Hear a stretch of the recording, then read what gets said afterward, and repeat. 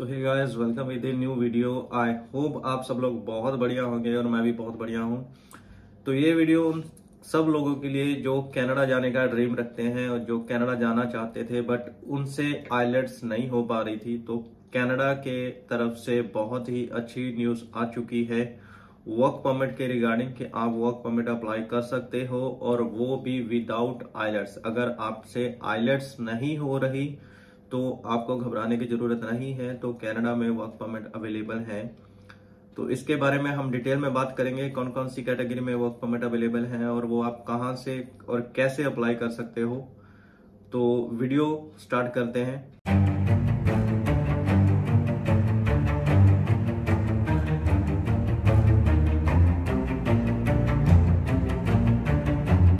तो बात करते हैं कनाडा वर्क परमिट के बारे में। कनाडा से नई जो अपडेट आ रही है वर्क परमिट के लिए कनाडा को बहुत सारे कैटेगरीज में skilled unskilled work work permit के लिए बंदे चाहिए। जो जिनके पास कोई स्किल है, चाहे वो किसी भी फ़ील्ड में हो, वो बंदे उनको चाहिए। और जो किस जिनके पास कोई स्किल नहीं है आ, कोई भी एक्सपीरियंस वर्क का एक्सपीरियंस नहीं है तो वो भी वर्क परमिट अप्लाई कर सकते हैं। तो हम पहले बात करते हैं स्किल वर्क परमिट की। स्किल वर्क परमिट में कौन कौन से वर्क परमिट आ रहे हैं? तो उसके बारे में हम आ, थोड़ा डिस्कस करेंगे।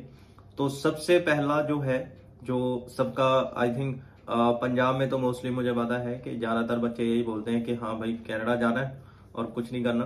ट्रक की सीट पे बैठ जाना है और ट्रकिंग करनी है। ठीक है? तो जो लोग ट्रकिंग के शौकीन हैं, जो ट्रक चलाना जानते हैं और ट्रक वीज़ा अप्लाई करना चाहते हैं, ट्रकिंग वीज़ा तो उनके लिए है जो वर्क परमिट वीज़ा है, वो ट्रकिंग में अवेलेबल है। अगर आपको ट्रक का एक्सपीरियंस है, आपके पास हैवी लाइसेंस है और आपकी क्वालिफिकेशन जो है ट्वेल्थ है और आप मिनिमम बैंड जो साढ़े पाँच ले सकते हो, ठीक है? साढ़े पाँच आपके मिनिमम बैंड होने चाहिए, जो जनरल आर्ट होती है। वर्क परमिट के लिए आपके साढ़े पाँच मिनिमम वैन होने चाहिए। आपकी एज जो है वो ट्वेंटी वन से लेके almost thirty six forty forty के अंडर होनी चाहिए। तो आप ट्रकिंग वीज़ा अप्लाई कर सकते हो। वीज़ा आपका वर्क वीज़ा ही होगा। ट्रकिंग वीज़ा कोई कैटेगरी नहीं है। वर्क परमिट आपका अप्लाई हो सकता है तो आप जाके वहाँ पे ड्राइवरी कर सकते हो ट्रक चला सकते हो। अगर आप ये सारी रिक्वायरमेंट पूरी करते हो, आपकी एज आपके बैंड स्कोर आइलट्स के और आपका जो है एक्सपीरियंस आपके पास हैवी ट्रक ड्राइविंग लाइसेंस होना चाहिए। तो ये हो गया ट्रकिंग का।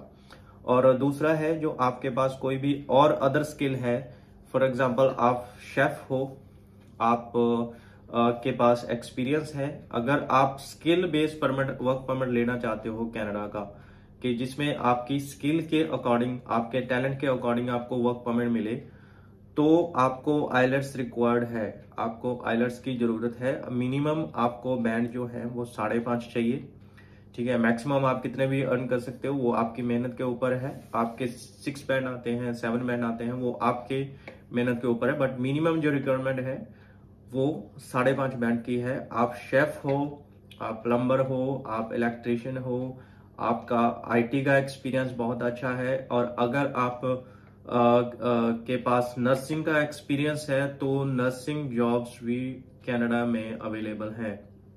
तो कोई घबराने वाली ज़रूरत नहीं है। अभी ऑलमोस्ट हर कैटेगरी में वर्क परमिट जो है, वो अवेलेबल है। तो वो कहाँ से करना है, कैसे करना है इंडिया में एजेंट कौन कर रहा है, वो भी मैं आपको इस वीडियो में बताऊँगा।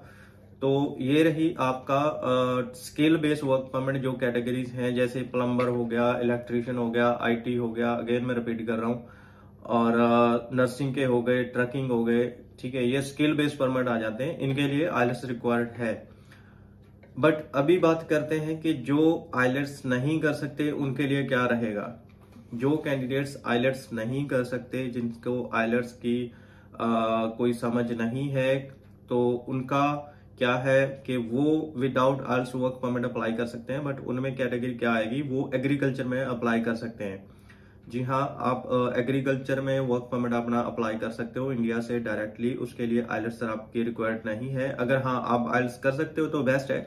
अगर नहीं कर सकते तो भी कोई प्रॉब्लम नहीं है। आपका एग्रीकल्चर में आ, आपका वर्क परमिट अप्लाई हो जाएगा बट उसके लिए जो रिक्वायर्ड है ठीक है उसके लिए जो रिक्वायरमेंट है आपकी मिनिमम क्वालिफिकेशन जो है वो टेंथ होनी चाहिए बट आपको थोड़ी बहुत आपको इंग्लिश की समझ होनी चाहिए। ऐसा नहीं है कि आपको इंग्लिश बिल्कुल भी नहीं आती है और आप जो है वो दसवीं भी पास नहीं है या आप टेंथ जो है आपकी क्लियर नहीं है, ऐसा नहीं हो पाएगा।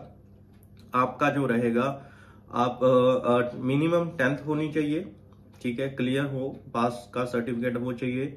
उसके बाद आपके पास इंडिया में जो जे फॉर्म होते हैं, जो एग्रीकल्चर का काम करते हैं उनको पता होता है कि जे फॉर्म कैसे मिलते हैं कहाँ से क्या होता है जे फॉर्म तो जे फॉर्म आपके पास अवेलेबल होने चाहिए वो आपके पास हो आपके पेरेंट्स के नाम से हो फादर के नाम पे वो कोई प्रॉब्लम नहीं है ठीक है? वो अप, आप अप्लाई कर सकते हो।